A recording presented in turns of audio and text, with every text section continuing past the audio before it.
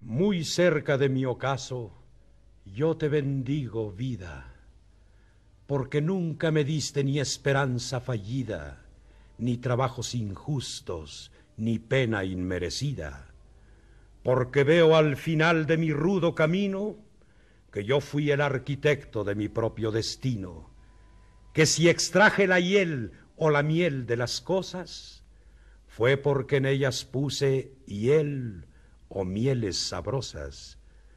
Cuando planté rosales, coseché siempre rosas.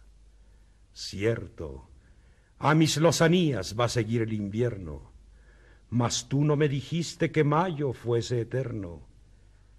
Hallé sin duda largas las noches de mis penas, mas no me prometiste tan solo noches buenas, y en cambio tuve otras santamente serenas.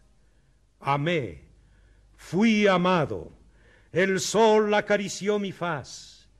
Vida, nada me debes. Vida, estamos en paz.